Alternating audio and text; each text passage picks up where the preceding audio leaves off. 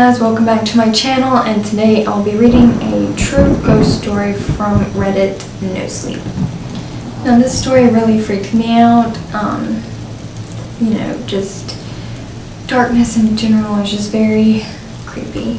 So let's get started. This is called Parents Left Me Alone for the First Time Without a Babysitter. I really freaked myself out. Bye, love. Don't stay up too late. My mother called over her shoulder and blew a quick kiss in my direction before heading downstairs and banging the front door closed behind her. I heard the car doors open and close as she and my father set off on the, their first date night, on their first date night in over a year. It was also the first time they'd trust me alone in the house. I was excited, sure. I was going to bend the rules a little bit. But I would definitely be in bed by the time they got home. This was a privilege I was determined to hang on to. Now it had finally been granted. I headed downstairs to the living room and fired up Netflix on the big TV. No crappy laptop screen for me tonight. While pondering what to watch, I rummaged through the fridge and cupboards in the kitchen. I needed some snacks to sustain me during the massive binge watching uh, session I had planned. Armed with some ice cream and popcorn, I settled down on the couch, just remembering in time to set an alarm on my phone so that I would have time to clear away the evidence and get to bed before my parents returned. I was in the mood for something scary. Isn't that always the first thing on any kid's mind when they're left unsupervised at sleepovers and like horror movies, ghost stories uh, told with a torch under the chin and a dramatic, spooky voice. My friends had always begged me to read them scary stories to tell in the dark because apparently I had just the right tone to scare them all crapless.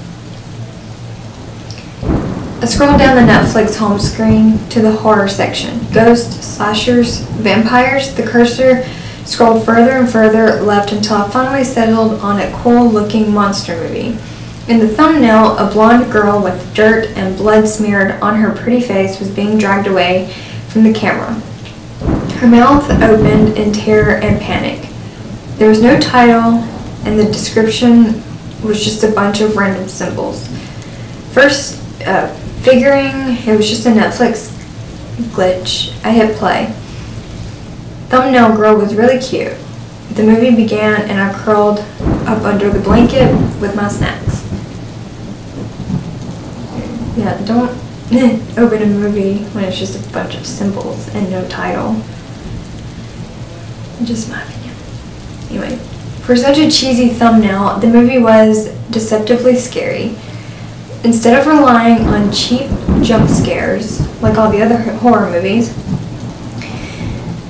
it gave off this atmosphere of, I don't know, malice almost. The soundtrack was conspicuous by its absence. The soundscape, I don't know, I'm not a film buff. On the other hand, was pretty brutal. The girl from the thumbnail, along with her equally beautiful friends, were being stalked and picked off one by one by this unseen monster. The creature itself never appeared, but its shadow, a shifting black mass, would always be visible a few seconds before another girl was attacked and never seen again. The girls panicked, breathing the pops and squished and screams as the whatever it was picked them off one by one. Sounded as though they were happening just out of my field of vision. As though if I were to turn my head, I would see the latest victim being devoured. All these sounds really seemed to highlight the fact that the monster itself made no noise at all. The only indication it was ever nearby was that freaking shadow. As the movie continued, my imagination began running wild, and I began to pull the blanket up over my head during the tenser moments. My heart was in my mouth, and every few minutes I was obsessively checking to see how long the movie had left. I wasn't enjoying it by this point, but the only thing worse than finishing the movie would be not finishing it and having to go to sleep in my empty house wondering what happened.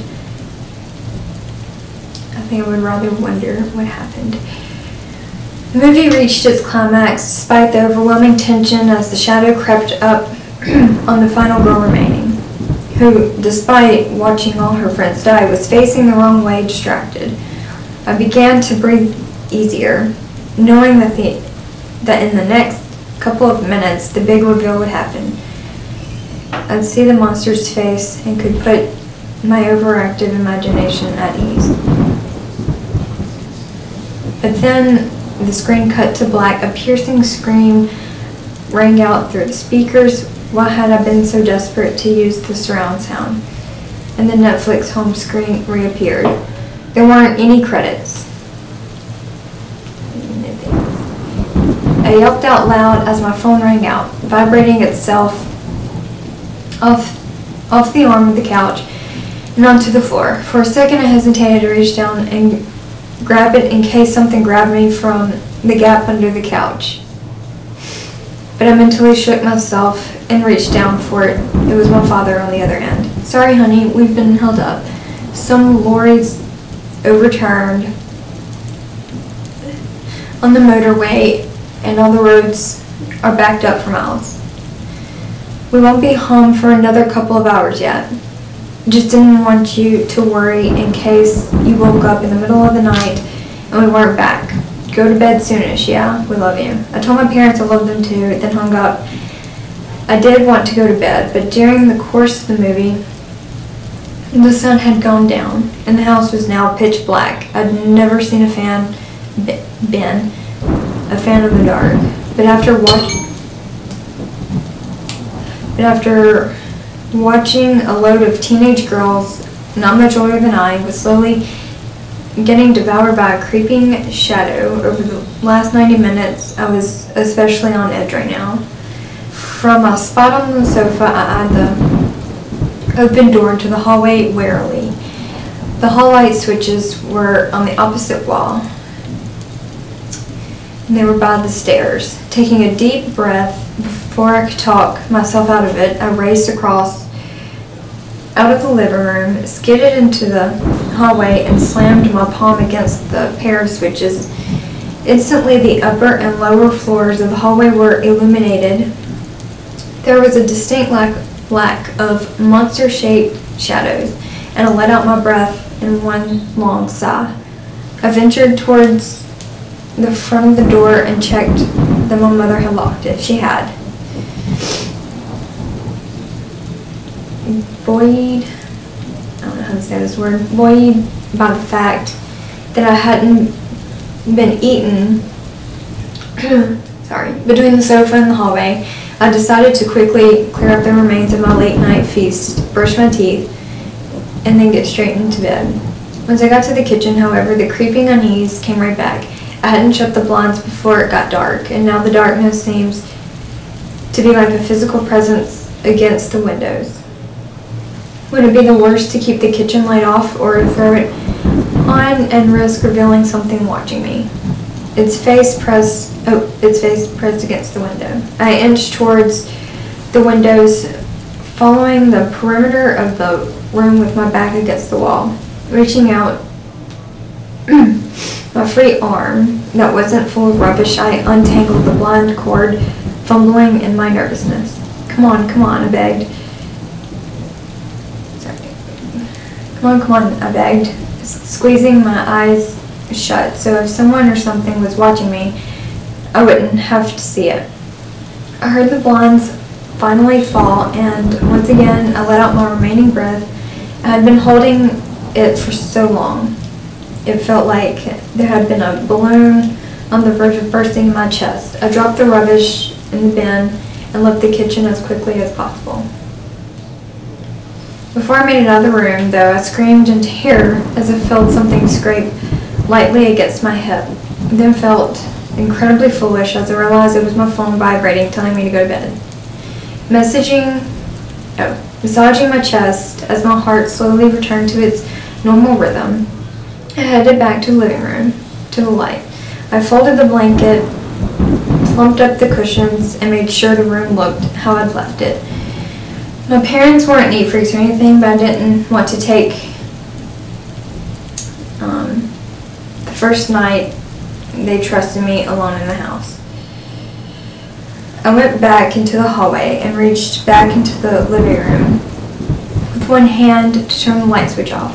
Quickly, I grabbed the door and swung it shut.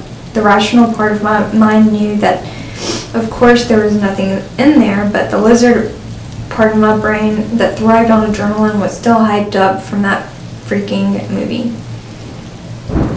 I went up the stairs and into the bathroom, even though I needed to brush my teeth as I did so I couldn't bring myself to look in the mirror in case something was behind me. I couldn't bear to know. The hairs on the back of my neck pricked, prickled, even though I had my back pressed against the wall and my eyes squeezed shut so I wouldn't accidentally look at the big round mirror over the sink. My eyes still clamped shut, I spat out the toothpaste and fumbled my way over to the toilet. I opened my eyes and looked around briefly, considering sleeping in the bath with the light on and the door locked. Then I shook my head decisively. I was being stupid. I shouldn't have watched that movie. Certainly not when I was home alone for the first time ever. I had only myself to blame, and I needed to snap out of this wreck of nerves I had become over the last couple of hours.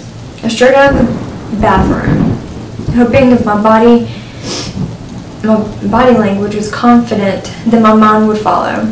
As a compromise to myself, I decided to leave the hall light on, so I wouldn't be in total darkness if I couldn't get to sleep.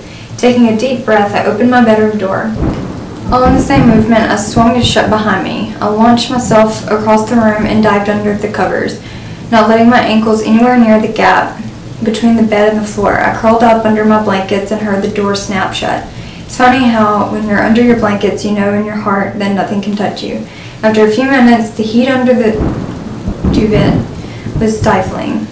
I had cocooned my entire body, head and all, and the air was growing still and clammy. I, spoke, I poked my head out to grab a few gasps of cool air. Sighing with relief, I rolled over to face the door. I could see the light underneath it and the shadow that was slowly growing, shifting, twisting, and illuminating portion of the carpet. So, what did you guys think of that? And I don't know, that was pretty creepy because me and the dark,